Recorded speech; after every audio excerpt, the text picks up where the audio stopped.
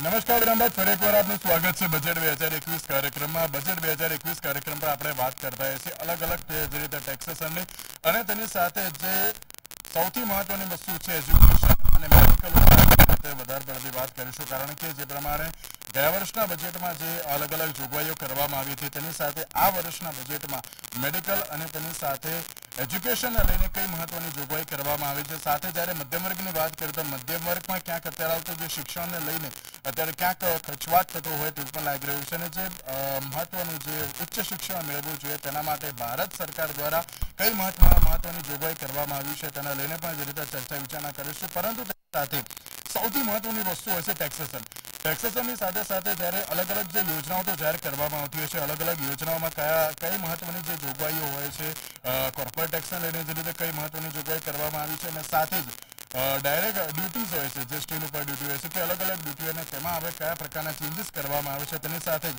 આ મુદ્દા પર ચર્ચા વિચારણા કરવા માટે અમારી સાથે પેનલ પર ઉપસ્થિત છે અશ્વિનભાઈ બેંકર જે ભાજપના નેતા છે, આશીષભાઈ જોશી, જે સેક્રેટરી પીએચડી ચેમ્બર ઓફ કોમર્સના છે પૂજાબેન ઠક્કર કે જેઓ સેબીના રજિસ્ટર છે અને તેની સાથે ઇન્વેસ્ટમેન્ટ એડવાઇઝર પણ છે. સંદીપભાઈ શેઠ કે જેઓ ક્રેડાઈ ગુજરાતના ચેરપર્સન છે. નિમેશભાઈ શાહ કે જેઓ કોંગ્રેસના નેતા છે. અને મયુરભાઈ મોઢા કે જેઓ ચાર્ટર્ડ એકાઉન્ટન્ટ છે. મયુરભાઈ, આ પ્રશ્ન આપણે કે જ્યારે ડાયરેક્ટ અને ઇન્ડાયરેક્ટ ટેક્સની તો આપણે વાતચીત કરી.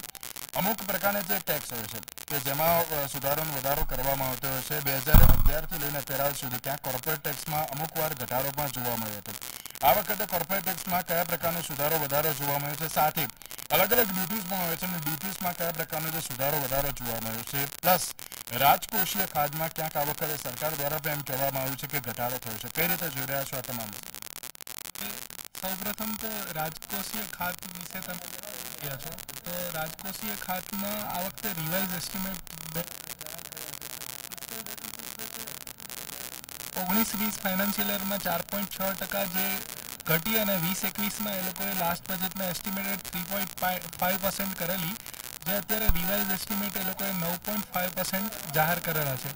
એ સિવાય એકવીસ બાવીસમાં એને છ પોઈન્ટ આઠ ટકા એટલે ફરીથી ઘટશે એ રીતના જાહેર કર્યું છે. એ સિવાય જે રેવન્યુ ડેફિસિટ છે, એ ઓગણીસ વીસમાં ત્રણ પોઈન્ટ ત્રણ ટકા હતી જે વીસ એકવીસમાં બે પોઈન્ટ સાત ટકા એ લોકોએ જાહેર કરેલી, જે અત્યારે રિવાઇઝ એસ્ટિમેટ સાત પોઈન્ટ પાંચ ટકા જાહેર કરી છે અને એકવીસ બાવીસ માટે પાંચ પોઈન્ટ એક ટકા. અને એ સિવાય ઇફેક્ટિવ રેવન્યુ ડિફેસિટ જે ઓગણીસ વીસમાં જે અચીવ બે પોઈન્ટ ચાર ટકા, જે વીસ એકવીસમાં એક પોઈન્ટ આઠ ટકા અને અત્યારે જે વીસ એકવીસના રિવાઇઝ જે આંકડા જાહેર કર્યા છે, એમાં છ પોઈન્ટ ત્રણ ટકા જાહેર કરી છે અને એકવીસ બાવીસ માટે ચાર પોઈન્ટ એક ટકા એટલે ચાર પોઈન્ટ એક ટકા એટલે આ રીતે એ લોકોએ ડેફિસિટમાં જે ડેફિસિટ પડવાની છે, એની રિવાઇઝ એસ્ટિમેટ જાહેર કરી અને એકચ્યુઅલ પિક્ચર જાહેર કર્યું છે.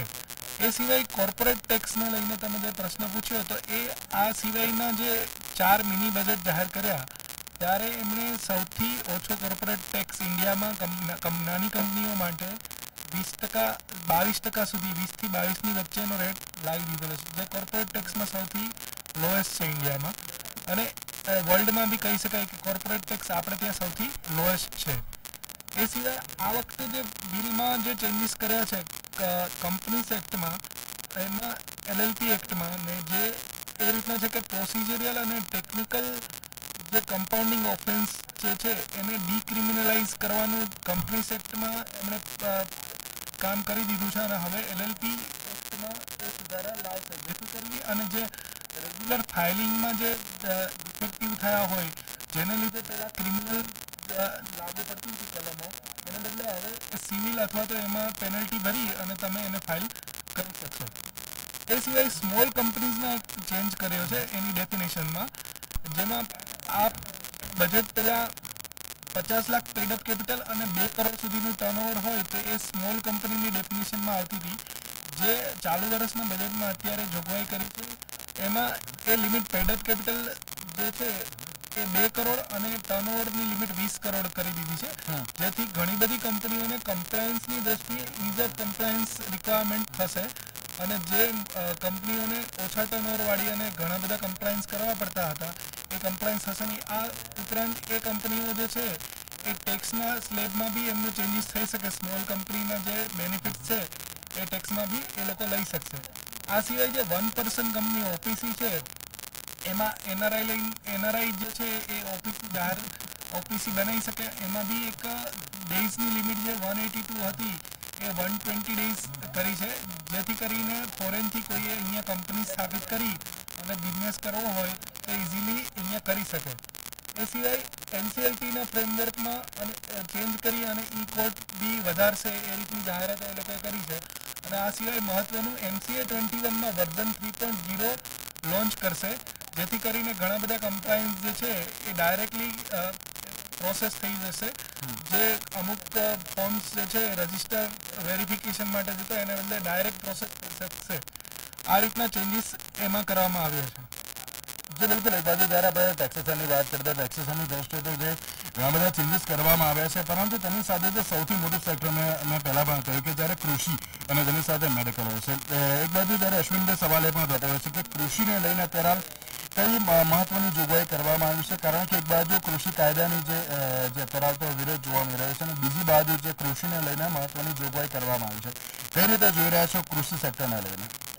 આ દેશની મુખ્ય જે સેક્ટર કહી શકાય એમ છે, તે કૃષિ સેક્ટર છે. અને કૃષિ સેક્ટરના આ રાજ્ય, આ દેશની સરકારના કમિટમેન્ટ પ્રમાણે કૃષિ સેક્ટરમાં સૌથી પહેલા એમએસપીની જે વાત આવતી હતી કે એમએસપીમાં વિરોધાભાસ કરવાની કોશિશ હતી. તેમાં એમએસપીમાં ખેડૂતને એની પ્રોડક્ટના પડતરના દોઢ ગણા ભાવ મળે. આ પ્રકારે એમએસપી નક્કી કરવામાં આવી છે, તે હંમેશા મળશે. બીજું જે એપીએમસીને સ્ટેન્ડર્ડ કરવાની જે વાત છે એક હજાર એપીએમસીને ઈ બિઝનેસ સિસ્ટમથી જોડીને કોઈ પણ ખેડૂત એક હજાર જેટલી એપીએમસી માં સીધો વેપાર કરી શકશે. તેના કારણે શું થશે? તેને એવો મોટો અવસર ઊભો થશે કે એની જણસને તે સારી રીતે સારા એટલે આ પણ એક કમિટમેન્ટ છે કે ખેડૂતની આવકને બે હજાર બાવીસની અંદર બમણી કરવી છે. અને કોઈ પણ વિરોધ આવે, આજે આ રિફોર્મેશન જે છે એ ખેડૂતના હિતમાં રિફોર્મેશન છે.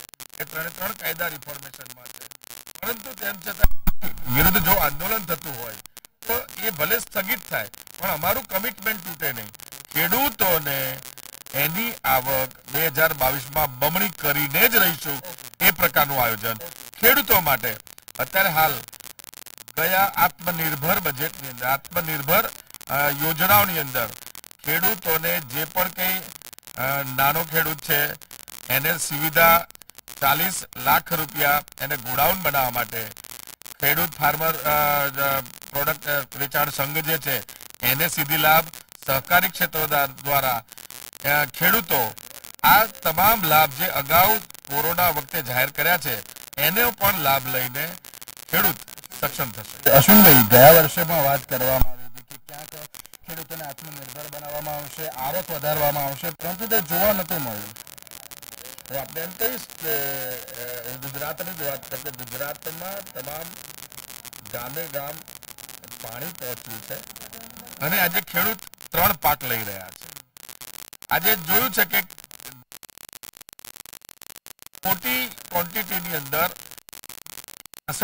એક લાખ ઘાસડીઓથી પણ વધારે વેપાર એક્સપોર્ટ કરી રહ્યું છે. એટલે ખેડૂતોનું એક્સપોર્ટ વધ્યું છે. ખેત પેદાશનું એક્સપોર્ટ વધ્યું છે. એ જ બતાવે છે કે ખેડૂતની આવક બમણી થઈ છે. અને ખેડૂતની આવક હજુ પણ વધારે. તમામ ખેડૂતોની આવક, મોટો ખેડૂત અને નાનો ખેડૂત, એ તમામ ખેડૂતોની આવક એ બમણી થાય. ખેડૂત આધારિત નીતિ બને જેના કારણે આપણે મોટા પાયે એક્સપોર્ટ કરી શકીએ ખાદ્યાન્નને. અને એક્સપોર્ટ કરવાથી પણ જે વિદેશી ઊંડિયામણ મળશે. કારણ કે આ એક ક્ષેત્ર છે જેમાંથી એક્સપોર્ટની બહુ મોટી સંભાવના છે. આજે આપણે ચોખા છે, ઘઉં છે કોટન છે, આ બધું ખૂબ મોટા પાયે એક્સપોર્ટ કરી રહ્યા છે. અને પચાસ ટકા જેવો અમારો ખેડૂત વર્ગ છે, એ આની પાછળ મોટી રોજગારી પણ મેળવે છે અને એની પાછળનો બેકબોન છે. અને તેથી એક્સપોર્ટ વધે પોર્ટ્સની ડિમાન્ડ વધે અને એ પ્રમાણે પણ આ દેશને ફાયદો થાય એ પ્રકારની આખી આ યોજના છે અને એટલે ખેડૂતોને લાભ થઈ રહ્યો છે આ- બજેટમાં એ હું સ્પષ્ટપણે ખેડૂતોને લાભ થઈ રહ્યો છે આ બજેટમાં પહેલા પણ જે રીતે ખેડૂતોની આવક વધારવાની જે વાત કરવામાં આવી હતી સાથે આ બજેટમાં પણ એ જ કહેવામાં આવ્યું છે કે ના, ખેડૂતોની આવક વધશે. બે હજાર બાવીસ સુધીમાં કોઈ પણ ખેડૂતો, નાનો ખેડૂત કે મોટો ખેડૂત ખેડૂત હોય અને તેમને અત્યારે આવકમાં વધારો કરવામાં આવશે અને આ કૃષિલક્ષી બજેટ છે તેવું પણ કહેવામાં આવ્યું છે. નિમેશભાઈ કઈ રીતે થયું છે? છેલ્લા કેટલાય વર્ષોથી ભારતીય જનતા પાર્ટીની સરકાર ડબલ પૈસા આપશું, ખેડૂતોને થઈ જશે. દર વર્ષે વાયદો કરે છે.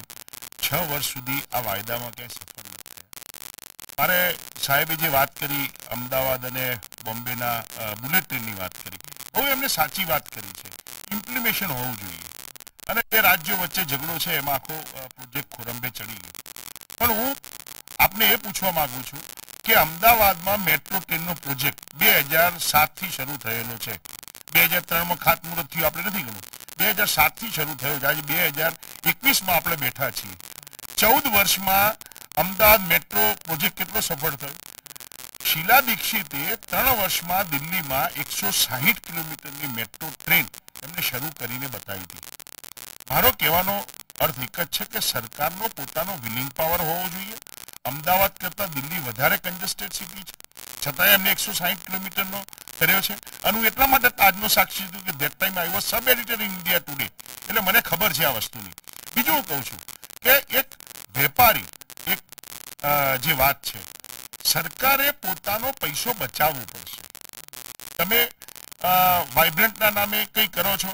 આજે વાઇબ્રન્ટના આટલા ઉત્સવો ગયા પછી પણ ભારતની ફાઇવ હંડ્રેડ કંપનીમાં, ફાઇવ હંડ્રેડ ફોર્ચ્યુન કંપનીમાં આજે વાઇબ્રન્ટમાં કરાર થયેલા હોય એમઓયુ થયેલા એમાં એક પણ કંપની હજુ સુધી સામેલ નથી એ આપણા માટે ચિંતાનો વિષય છે.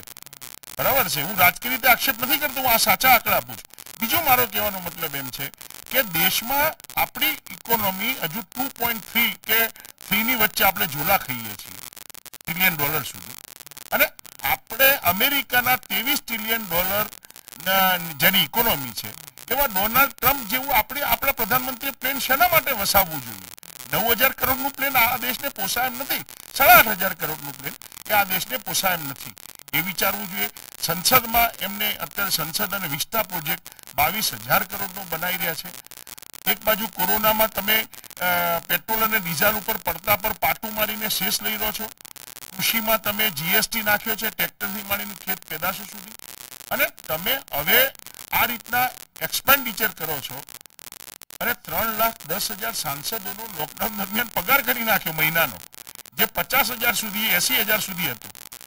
સરકારે હવે માત્ર ભારતીય જનતા પાર્ટી છે એવું નહીં વિચારવું જોઈએ.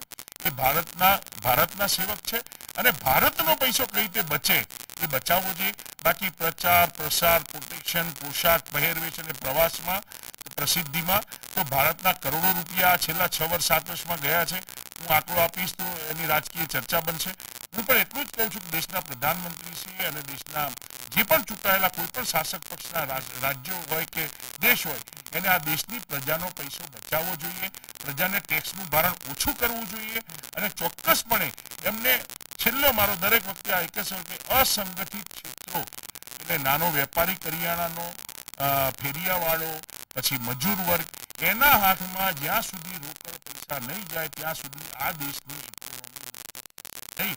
એટલે તમારે ન્યાયની વાત કરવી પડશે. બીજું ડિજિટાઇઝેશનની વાત કરું છું. એમને અશ્વિનભાઈ સારો વિચાર સારો છે કે ભાઈ ખેડૂતોને ઓપન માર્કેટ મળે. પણ માન્ય છે અશ્વિનભાઈ, અત્યારે પણ તલોદનો વેપારી પ્રાતિજમાં જઈને વેચી શકે છે અને ગોંડલમાં વેચી જ શકે છે. સવાલ શું આવે છે કે તમે જે કહો છો ઈ ઈ બિઝનેસ, પણ ઈ બિઝનેસમાં અહીંથી એક સમજો સાબરકાંઠાનો ખેડૂત ગોંડલ વેચવા જશે તો તેને ટ્રાન્સપોર્ટેશન કેટલું લાગે છે? તો એ એને પરવડવાનું નથી.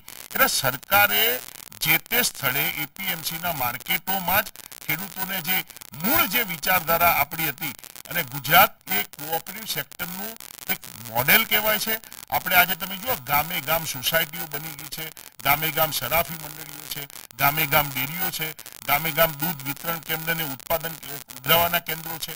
તો આપણે બેંકોથી શરૂ કરી અને છે ખેતી સુધી ગુજરાત એક સમૃદ્ધ કોઓપરેટિવ મોડલ છે. અને હું ચોક્કસ માનું છું કે આ કૃષિ બિલ પછી ગુજરાતનું જે આ કોઓપરેટિવ સહકારી માળખું છે એ ભાગી ભાગીને ભૂક્કો થઈ જશે અને ગુજરાત, જો તમને કહું, આ બધી વાતો થાય છે. ગયા વર્ષે ઓફિશિયલી આંકડો આપું છું, બે હજાર ઓગણીસ વીસમાં ગુજરાતનો જીએસટી સુડતાલીસ ટકા અરે તેતાલીસ ટકા ઓછો આવ્યો. તો કેમ ઓછો આવ્યો? તો ગુજરાતની આવક ક્યાંક ઘટી છે. આપણે બે અઢી લાખ કરોડના દેવાએ કેમ પહોંચ્યા? તો ગુજરાતના પૈસા ક્યાંક વેડફાઈ રહ્યા છે. એની સામે નથી આ સરકારે ડેમો બનાવ્યા નથી પ્રાઇવેટ કોઈ ગવર્મેન્ટ યુનિવર્સિટીઓ બનાવી નથી અમને કોઈ ડેરીઓ બનાવી નથી અમને કોઈ એવા પ્રોજેક્ટ કર્યા કે જેનાથી લોકોને સુવિધા મળે. મારો સરકાર વાતો જ કરે છે ચોક્કસ હું તો એમ જ કહું છું કે બહુ થયા ભાજપ તારા વાયદા અને તાયફા. હવે તમે આપો લોકોને ટેક્સ તબીબી અને શિક્ષણના ફાયદા. જો તમે આ ગુજરાતને તમારે સ્વર્ણિમ ગુજરાત નરેન્દ્રભાઈના ગુજરાત પ્રેમ માટે હું શંકા નથી કરતો. પરંતુ નરેન્દ્રભાઈને વિનંતી કરી છે આ પથ ઉપર તમે દિલ્હીના શાસન સુધી પહોંચ્યા છો. તો મારા ગુજરાતને આપણા ગુજરાતને પક્ષા સુધી પર થઈ તમે એજ્યુકેશન ફ્રી બનાવો અને જે તબીબી સારવાર છે એને સુદૃઢ બનાવો. લોકો સુધી પહોંચે. કેમ સરકારે આ જાહેરાત કરી? આજે તબીબીની બહુ સારી જાહેરાત કરી. હું તમે બોલી નાખો ને કે વેક્સિન અમે ફ્રી આપશું કોમન માણસને. તમે બિહારમાં મેનિફેસ્ટોમાં એમ કહ્યું કે બિહારમાં અમે દરેક લોકોને મેનિફેસ્ટોમાં વેક્સિન ફ્રી આપશું. તો ગુજરાતમાં આપો ને તમને ગુજરાત માટે પ્રેમ છે હું સ્વીકારું છું. તમે બોલી નાખો ને. મારો કહેવાનો મતલબ એમ છે કે તમે અવઢવમાં ગુજરાતની પ્રજાને ને લોકોને ન રાખો અને માત્ર ઇલેક્શન વખતે વાયદાઓ કરો અને ઇમ્પ્લિમેશન કરો ન કરો. ગુજરાત એ તમને પચીસ ત્રીસ વર્ષ સુધી સતત મતો આપ્યા છે. તો તમે પણ ગુજરાતને સુવિધાઓ સતત આપો. અને પંદર પંદર વીસ વીસ વર્ષો સુધી તમે આ મેટ્રો જેવા પ્રોજેક્ટ લંબાવો નહીં. જલ્દી કરો. ગુજરાત એ મોડલ તમારે બનાવવું છે અમારે બનાવવું છે. અને અમે સાથે છીએ વિપક્ષ તરીકે તમારી સાથે જે બિલકુલ. એક બાજુ જે રીતે કહી શકાય કે જે રીતે વિપક્ષે સવાલ તો ઘણા બધા કર્યા છે. અશ્વિનભાઈ શું કહેશો તેના આજની આ ડિબેટની અંદર બજેટની ડિબેટમાં પોલિટિકલ વાતો કરવી મને લાગે છે વિષયાંતર થશે. પરંતુ હું ચોક્કસ પ્રમાણે કહીશ કે આ દેશમાં પ્રગતિનું હવામાન ચાલુ છે. કોંગ્રેસ એને એકવાર તક આપવામાં આવી હતી. અગાઉ આ દેશે કોંગ્રેસનું રાજ જોયું છે.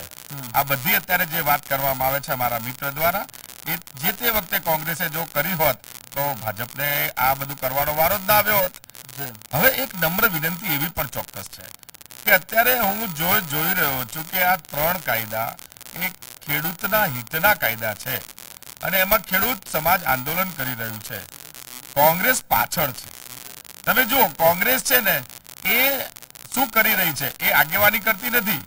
પાછળથી રહીને મુદ્દાઓને ટ્વીસ કરે છે. અને મુદ્દાઓને ટ્વીસ કરતા સરકાર સતત એમ કહે છે કે તમારે જે પણ સુધારા હોય તમારા જે પણ સુધારા હોય તે તમે મૂકો. સુધારા કરી શકાય છે. જીએસટી માં પણ અનેક સુધારા કર્યા ત્યારે આપણે આ સ્થિતિમાં આવ્યા છીએ. સરકારનું મન ખુલ્લું હોય છે પણ તમે સુધારા જ ના કરવા દો. રિફોર્મેશન જ ના કરવા દો. તો આ દેશની દુર્દશા શું થાય? ખેડૂત માટે નવી કોઈ નીતિ લાવીએ એનો સતંતર વિરોધ કરો તો તો તો આ દેશનો વિકાસ કેવી રીતે થાય? આ દેશના વિકાસનું મોડલ કોંગ્રેસ પાસે નથી. પરંતુ ભારતીય જનતા પાર્ટી જવાબદાર પાર્ટી મેં કહ્યું ને કે ત્રણ ત્રણ કાયદાનો વિરોધ અત્યારે કાયદાની અમલવારી અમે નથી કરી શકતા. પણ અમારું કમિટમેન્ટ છે. આ કોંગ્રેસની તાકાત બહારની વાત છે. અમારું કમિટમેન્ટ છે. ભારતનો ખેડૂત એની આવક બે હજાર બાવીસમાં બમણી થશે. અત્યારે આપણે ખેડૂતને સારી પોઝિશનમાં જોઈ રહ્યા છે. બળદગાડામાંથી અત્યારે ટ્રેક્ટર પર છે અને ગાડી પણ એના ફાર્મ હાઉસ પર છે. આ પરિસ્થિતિ ભારતીય જનતા પાર્ટી લીધે છે. જી બિલકુલ બિલકુલ એક જે રીતે ભારતીય જનતા પાર્ટી તો જે રીતે કહી રહી છે કે ના અત્યારે તો દરેક પ્રકારના જે રીતે ફાયદા અત્યારે જે સામાન્ય જનતાને થઈ રહ્યા છે નિમેશભાઈ છેલ્લે ટૂંકમાં શું કહેશો? જી. અશ્વિનભાઈ મારી તમને એટલે જ વિનંતી છે કે બે હજાર ચૌદમાં તમે એમ કહ્યું હતું કે ડબલ આવક થઈ જશે. બે હજાર એકવીસમાં પણ તમારે આજ બોલ, બે હજાર તમારે એકવીસ આજ બોલવું પડે છે. એટલે ખરેખર તમારે આપવું હોય તો આપો અને અમે ખુશ છીએ. અમે તો વિપક્ષમાં બેઠા છીએ. પચીસ ત્રીસ વર્ષથી બેઠ, પચીસ ત્રીસ વર્ષ બેઠા. બીજું કૃષિ બિલમાં તમે વાત તમે આંદોલન ધ્વજ ફરકાવનાર.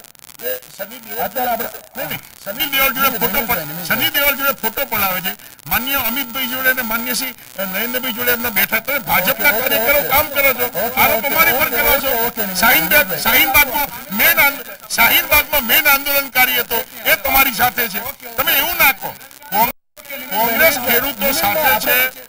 કોંગ્રેસ ખેડૂતો સાથે છે. હું કૃષિ બિલને ખેડૂતોના કૃષિનું ખૂન ગણું છું આ કાલો કાનૂન ગણું છું અને એના માટે એટલા માટે એમાં ઇટાલીને ના કરશો. તમે બોલવા જઈશું ઘણું બધું ઉઘડશે હવે આપણે વ્યક્તિગત આક્ષેપો ન કરીએ તો મજા આવશે. બરાબર છે. એટલે મારો. કહેવાનો મતલબ એટલો છે કે દેશમાં રાજનીતિ એ રાજનીતિનો વિષય છે ચૂંટણી ટાઈમે રાજનીતિ કરે દરેક પક્ષ. તમે કરો છો અને અમે કરીએ છીએ. પરંતુ ચૂંટણી પત્યા પછી તમે માત્ર ભારતીય જનતા પાર્ટીના કમલમના કાર્યાલયો જાકમજોર બનાવો છો. એ રીતે તમે આ દેશને પણ જાકમજોર બનાવો દેશના લોકો તમને યાદ કરશે. જે બિલકુલ દેશના જાકમજોર બનાવો અને તેની સાથે પૂજાબેન આપને પાસે એક સવાલ છે કે બજેટ જે આટલા વર્ષોથી જે રીતે બહાર પાડવામાં આવતું હોય છે રજૂ કરવામાં આવતું હોય છે દરેક જાહેર જનતા સુધી પહોંચાડવામાં આવતું હોય છે. પરંતુ આ વખતે પહેલી વાર એવું બન્યું છે જ્યારે બજેટ રજૂ કરવામાં આવ્યું ને ત્યારે જે રીતે સેન્સેક્સ ખૂબ જ હાઈ સપાટીએ જોવા મળ્યો હતો શું કહેશો તેના લઈને? જે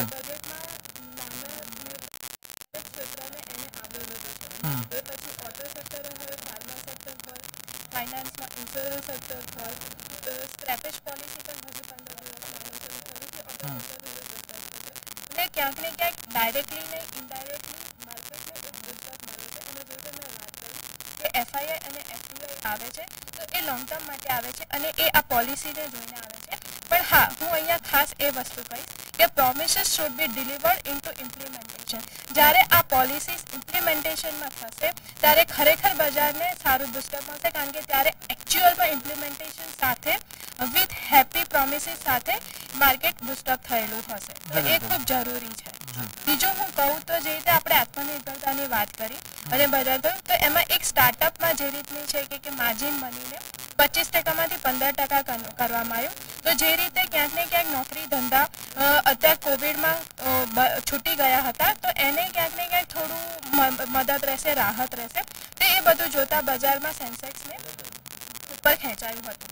હા, પણ એક વસ્તુ હું ખાસ કહીશ કે બજેટમાં જે તમે વાત કરી કે ઇમ્પ્લિમેન્ટેશન આવશે એ લાંબા સમયની વાત છે. એટલે જો હું માર્કેટની મુવમેન્ટની વાત કરું તો બજેટને અત્યારે માર્કેટે થમ્સઅપ ચોક્કસ આપ્યું છે. પણ અત્યારે આપણે જોઈએ બજારમાં તો માર્કેટનું વેલ્યુએશનની જો હું વાત કરું તો માર્કેટ કેપિટલ ટુ જીડીપીનો રેશિયો એક વેલ્યુએશન માટે ખૂબ ફંડામેન્ટલી ઇમ્પોર્ટન્ટ ઇન્ડિકેટર છે. અને એ અત્યારે જોઈએ તો એકસો ને ચાર છે. ખરેખર એ સોની અંદર હોવો જોઈએ. એ સોની ઉપર જાય મતલબ કે એ થોડું ડેન્ઝર ઝોનમાં છે અને એ ત્યાંથી થોડી ઘણી વેચવાલી બની શકે છે. તો એવા નાના મોટા કરેક્શન આવી શકે છે. પણ લોંગ ટર્મ જોઈએ તો ઓવરઓલ મને પોઝિટિવ લાગે છે. ઓકે રીતે અત્યારે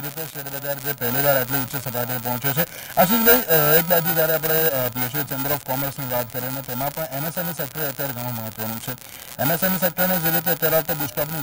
જે પ્રમાણે કરવામાં આવી છે બજેટમાં અલગ અલગ એમએસએમઈ સેક્ટરને આ પ્રમાણે કયા પ્રમાણનો ફાયદો જોવા મળશે? સાથે જ હજુ પણ વધારે બુસ્ટઅપ કરવો હશે, તો તેના માટે સૌથી મહત્વની વસ્તુ એ છે કે જે પણ યોજના જાહેર કરવામાં આવે તેનું ઇમ્પ્લિમેન્ટેશન થયું છે. શું કહેશો?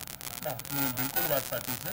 એમએસએમઈ સેક્ટર જે છે ટોટલ અગિયાર કરોડ લોકોને રોજીરોટી સીધી રીતના પૂરી પાડે છે micro small and medium scale industries હવે આ ઇન્ડસ્ટ્રીઝને સ્વાવલંબન બનાવવા માટે કમ્પ્લાયન્સીસ ખૂબ જ ઓછા કરવાની જરૂર છે.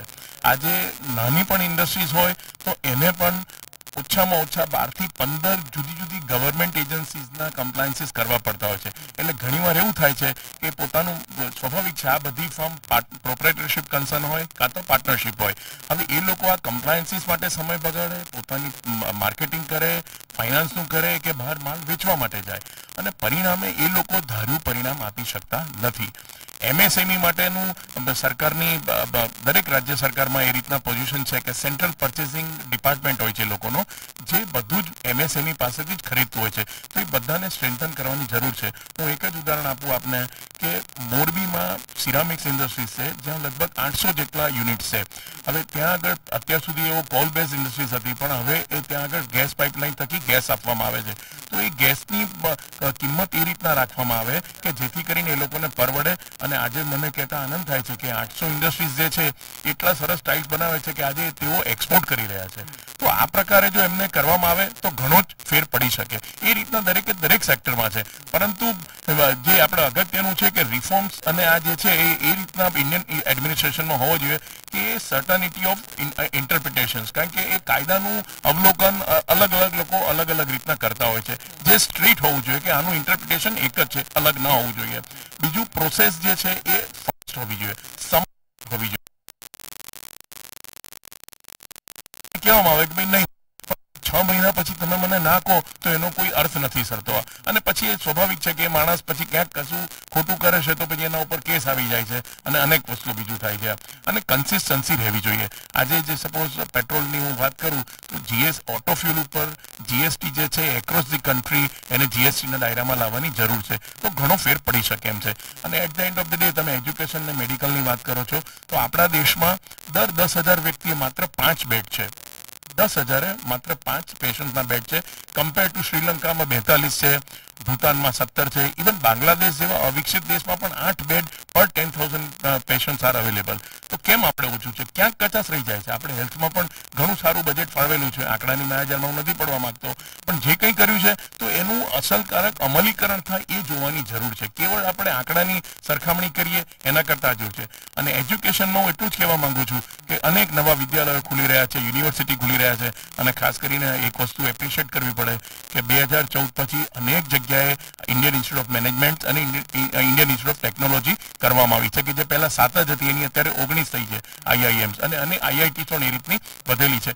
પરંતુ આ બધા જ ભણ્યા પછી બ્રેન ડ્રેન કેમ પરદેશ જતા રહે છે, એ પણ આપણે એટલું જ જોવાની જરૂર છે. એ લોકોને એવું કન્ડિશન એન્વાયરમેન્ટ પૂરું પાડવું જોઈએ, જેના થકી એ ગમે તે દેશમાં ધંધો કરે સર્વિસ કરે, પણ at the end of the year or time એ કહે કે ના ભાઈ, મારે સ્થાયી તો મારા દેશમાં જ થવાનું છે. તો સ્વાદેશી અભિમાનની ભાવના કેળવા એક જરૂર છે.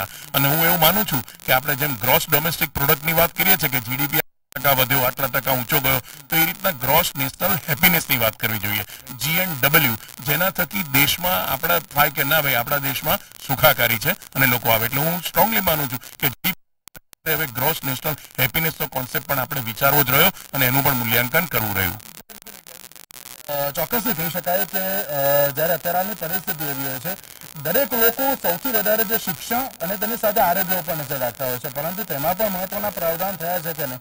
અને તેની સાથે સૌથી મહત્વનું ક્ષેત્ર છે રૂરલ સેક્ટર રૂરલમાં ઘણા બધા જે રીતે કૃષિના જે રીતે સૌથી વધારે જે ફાયદા આપવામાં આવતા હોય છે, પરંતુ તેની સાથે જે ઇન્ફ્રાસ્ટ્રક્ચર ત્યાં જે ડેવલપમેન્ટ કરવું જોઈએ, એટલે કે રૂરલ સેક્ટરમાં તે પણ મહત્વનું છે તે જે પ્રમાણે કરવું જોઈએ તે થતું નથી તેવું પણ લાગી રહ્યું છે. સંદીપભાઈ ક્યાંક સૌથી વધારે જે રૂરલ સેક્ટરની વાત કરીએ રૂરલ સેક્ટરમાં જે સૌથી વધારે ક્યાંક ઇન્ફ્રાસ્ટ્રક્ચર ડેવલપમેન્ટ ઉપર ભાર વધુ પડતો મૂકવો જોઈએ તેવું લાગી રહ્યું છે. કારણ કે જો રૂરલ સેક્ટરને તે પ્રમાણે સારામાં સારી એક ક્ષેત્ર ઉપર લઈ જવું હોય, બહુ હાઈ લેવલ પર લઈ જવું તેના માટે.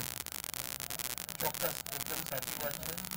રૂરલ સેક્ટરમાં જેવી રીતે ઇન્ફ્રાસ્ટ્રક્ચરની વાત કરીએ, એવી રીતે બેઝિક ઇન્ફ્રાસ્ટ્રક્ચર શિક્ષણ આરોગ્ય અને જે મૂળભૂત જરૂરિયાત છે, તેના માટે અત્યારે પણ આપણે જોઈએ છીએ કે દરેક જણોએ ગામડામાંથી શહેરો તરફ આવવું પડે છે.